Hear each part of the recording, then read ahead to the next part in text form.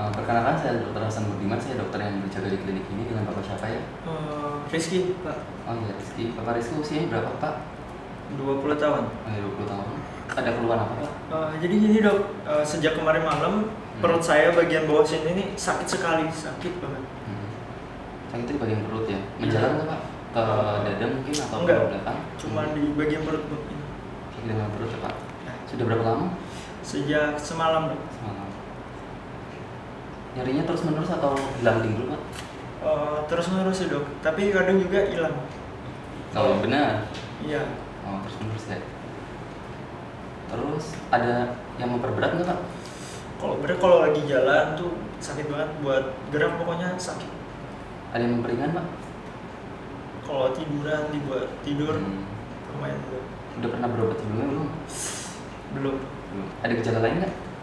Alhamdulillah kayaknya nggak ada. Iya Bapak, jadi untuk menunjang diagnosis saya, saya akan melakukan pemeriksaan fisik abdomen. Jadi nanti pemeriksaannya itu Bapak harus melepas baju bagian atas. Apakah Bapak bersedia? Ada. Ya, eh, silakan Bapak bersiap, mempersiapkan diri terlebih dahulu. Saya akan mencuci tangan terlebih dahulu. Terima kasih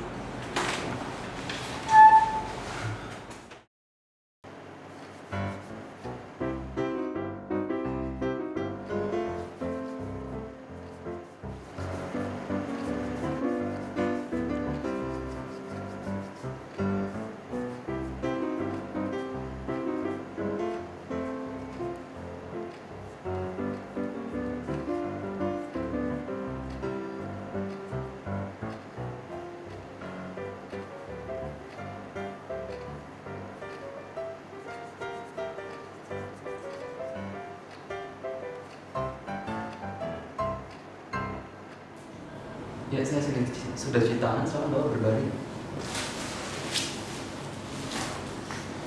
Selanjutnya saya akan melakukan pemeriksaan inspeksi Dari pemeriksaan inspeksi dapat dilihat bentuknya normal, kemudian tidak ada kemerahan, tidak ada bekas luka, tidak ada bekas luka operasi, tidak ada massa, tidak ada tumor, kemudian tidak ada pelebaran pembuluh darah. Selanjutnya saya akan melakukan pemeriksaan auskultasi. Selanjutnya pemeriksaan auskultasi.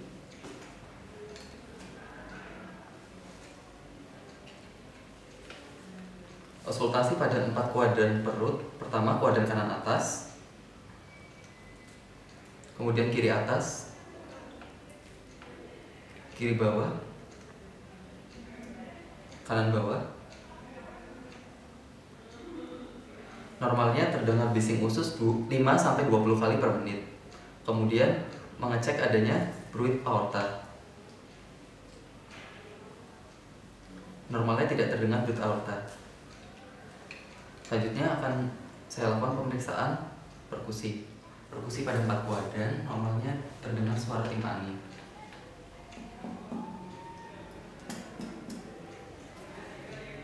Oh. Ya, normal ya Pak. Kemudian saya akan melakukan pemeriksaan rancakan hepar. Dimulai dari bawah ke atas, mencari suara dari timpani ke peka.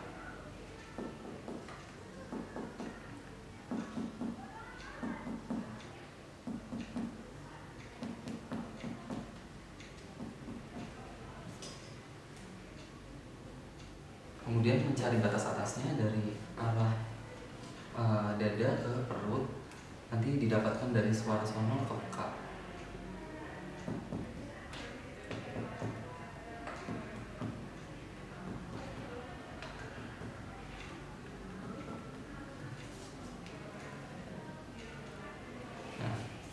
Panjang normal dari eh, liver sebelah kanan yaitu 6 sampai 12 cm. Panjangnya 6,5 ya Pak, normal. Kemudian untuk yang liver sebelah kiri, untuk batas liver sebelah kiri, kita, eh, batas atasnya ambil dari batas kanan. Kemudian untuk batas bawahnya ambil dari umbilikus ke atas.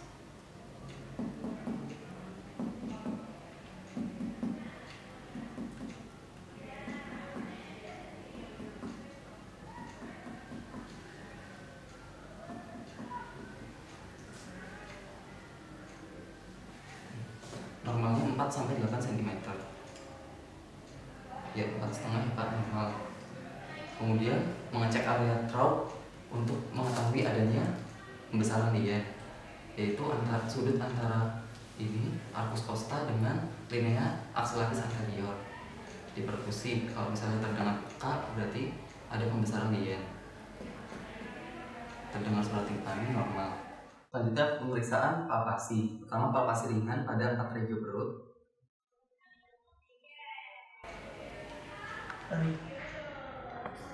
ada nyeri pada bagian perut bagian kanan bawah.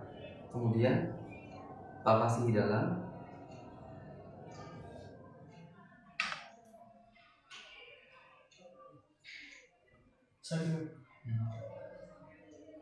Ya. kemudian palpasi uh, hepar untuk mengetahui adanya pembesaran hepar dengan menggunakan manuver ambil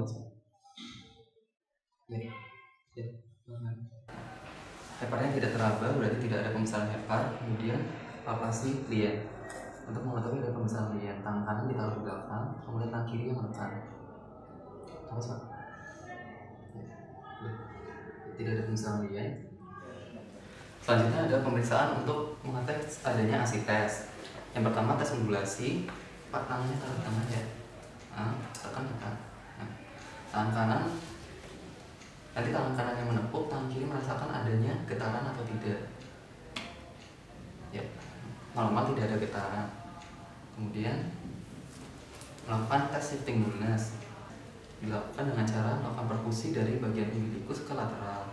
Normalnya terdengar bunyi timpani sampai peka pekanya pada linea axillaris media. Apabila uh, peka dia didengar sebelum linea axillaris media berarti ter terdapat uh, pekan sisi meningkat.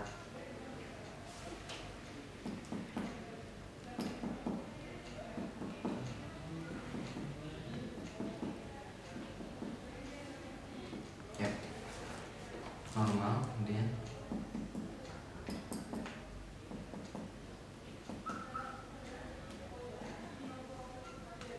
normal. Nah, apabila terdapat pekan sisi meningkat, kita harus me pasien ke arah yang berlawanan. Misalnya di sini terdapat pekan pekan sisi meningkat pada sebelah kanan. Kita harus memindahkan pasien ke arah berlawanan itu sebelah kiri. Kemudian dilakukan perkusi ulang.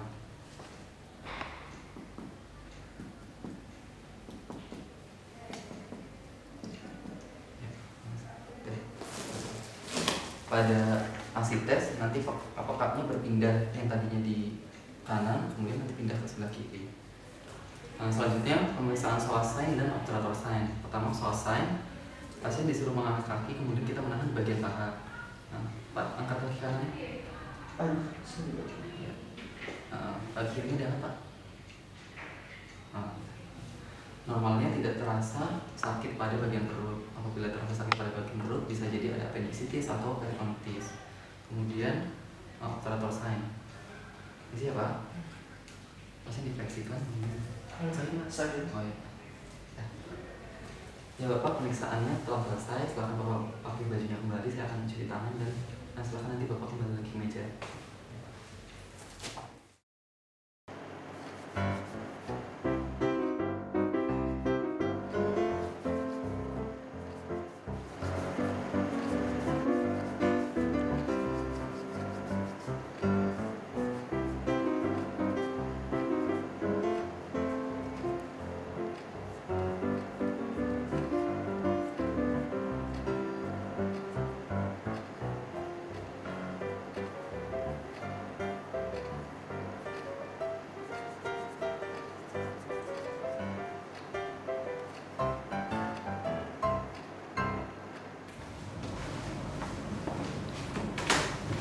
Ya, Bapak jadi tadi berdasarkan hasil pemeriksaan saya, uh, tadi Bapak ada nyeri tekan ada ini ya pada regio uh, kanan bawah, kemudian ada operator sign positif, terus suasana positif. Jadi hal ini menandakan bahwa Bapak menderita appendicitis. Tapi untuk uh, menegakkan diagnosisnya, untuk menegakkan diagnosis lebih jauh, Bapak nanti saya rujuk ke bagian radiologi. Nanti terus obatnya saya kasih penghilang nyeri, tapi ini sementara doang pak nanti uh, untuk apa pengobatan lebih lanjutnya harus dilakukan tindakan nah terus nanti kalau misalnya uh, hasil pemeriksaan radiologinya sudah ada bapak kembali lagi ya. Ada yang mau ditanyakan? Cukup dok. oh iya. Ini resepnya. Ya untuk Terima kasih dok. terima kasih